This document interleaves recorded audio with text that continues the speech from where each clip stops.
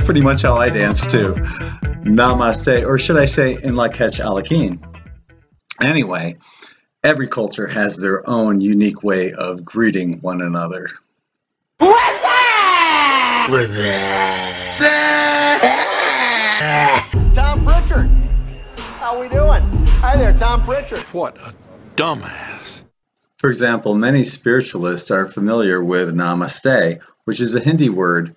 In Sanskrit, namas means bowing and te means to you.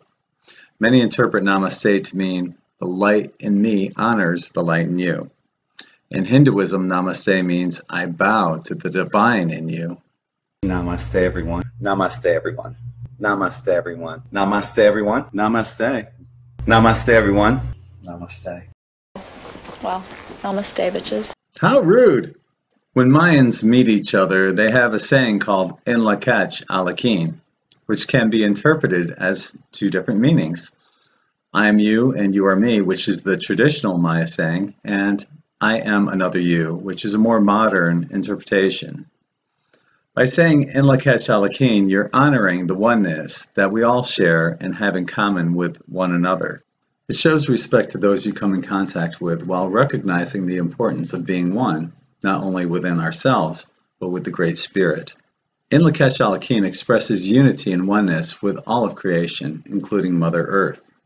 It's a very heart-centered greeting that mirrors our souls to one another and basically sends out good karma to everyone you say this to, as well as to yourself.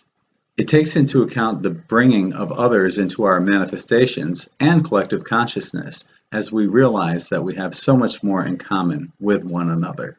Namaste in Lak'ech Ala K'in. If you enjoyed this video, please click like and share. If you're new to our channel, welcome. I'll be making more videos like this, but longer, about 30 minutes or so. Thank you to everyone who has liked and shared our In5D videos. We have a lot more videos upcoming, and many will be posted to In5D TV, which you will be able to find on in5d.com. So be sure to check that out.